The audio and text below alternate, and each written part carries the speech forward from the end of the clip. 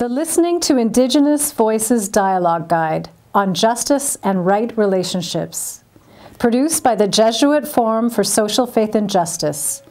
It showcases Indigenous voices and the many elements of their traditional knowledge and skills inherited from their ancestors. It's an indispensable tool for all those who want to make a difference today in building bridges across ignorance and racism. Let's listen to Mike Shaw, parish administrator at St. Edward the Confessor Mission, to see how the faithful at the mission have engaged with the dialogue guide and what they have learned.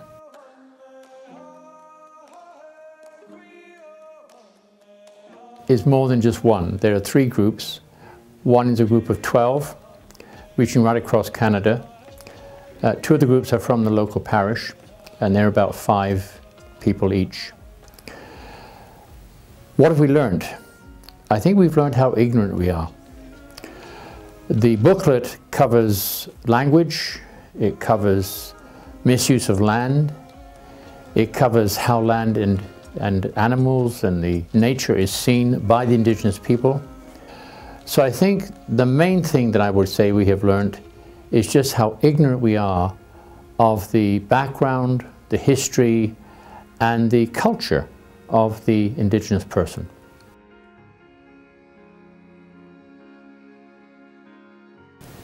I think the experience of learning that, for example, across Canada, 0.59% of a person has TB, whereas 151 people in the Indigenous community have TB.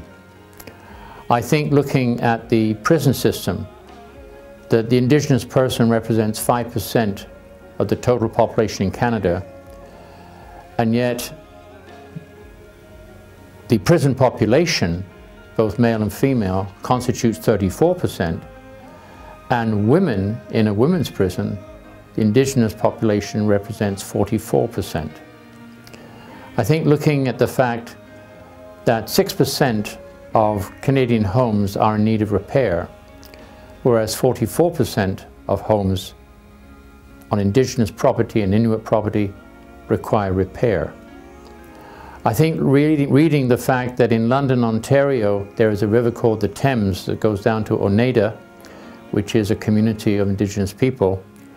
And in 2018, 225 million litres of untreated sewage was allowed to go down that river into the aquifer of that community. In 2019, in one month alone, it was 5.5 million litres. It made me realize that I have inherited clean water, a safe home, easy access to the medical world, and the chances of me being in prison are highly, a lot smaller than if I was an indigenous person. There has to be a sense of humility and also a desire for the truth. And as Jesus says, the truth will set us free. Why do I say humility? Because what you hear and read in the book, um, the forum that was created by the Jesuit people or Jesuit order, is that our understanding of our position relative to the indigenous people is totally inaccurate. It's totally inaccurate. So why would I recommend it to parishes? I think if the people come, whoever they might be, with a humble heart and a desire for truth, it can cause a radical change in how they see themselves. It can cause a radical change in how they see their relationship with the indigenous person.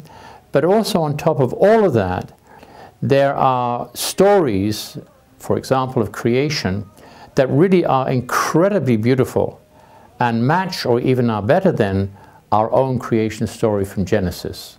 So I would say humility and truth will be the elements that would have the people participating go through some sort of transformation. I think as a pastor, it's made me realize that I have to really listen to my community. I have to start listening. Interestingly enough, I had some friends come over for a meal the other night, uh, who know me very well. They've known me for 47 years.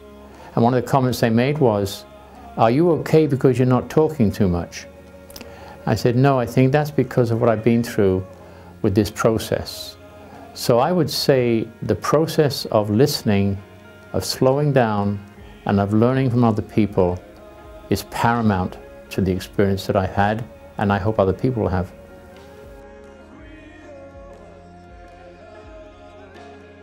Don't think the discernment group will finish. I think it's an ongoing process because there's so much to learn. Secondly, there are two elements that have impacted us already, one more clearly than the other. The first one was that when we heard about the residential schools and the children that were buried there, we decided back in July, August of last year that we'd have two minutes of silence before we celebrated Eucharist in memory of the children.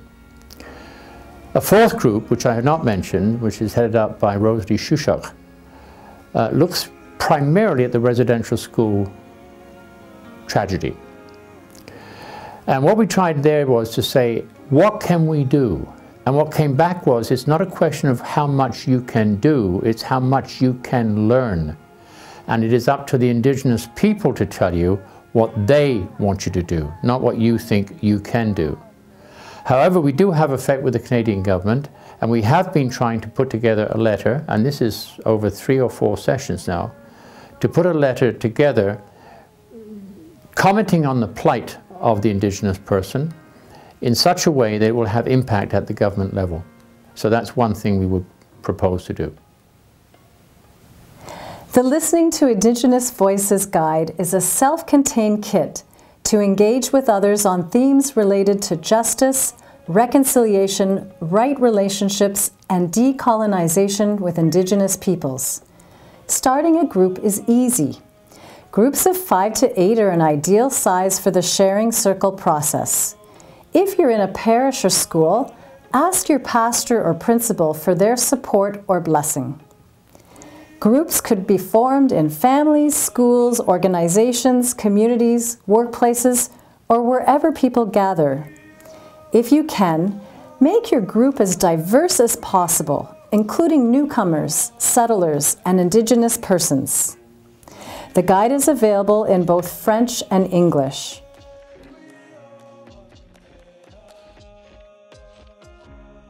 The Sharing Circle. The guide process uses a sharing circle to engage in dialogue and reflection. All you need to know for the process is explained in the dialogue guide. Here are a few tips.